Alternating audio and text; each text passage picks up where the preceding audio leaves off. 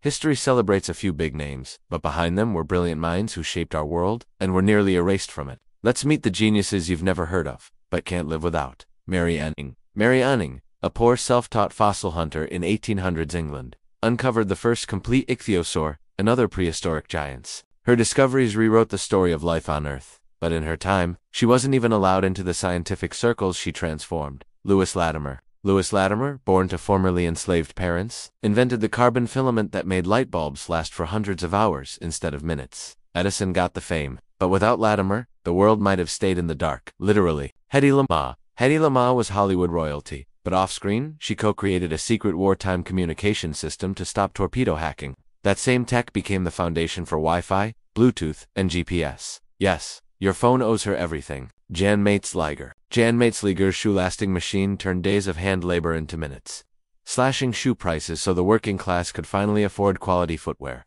A true step forward.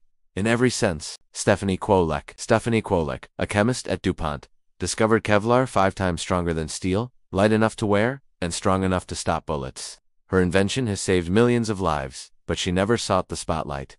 They changed the world, and the world forgot their names. Let's fix that. Subscribe and like for more forgotten history.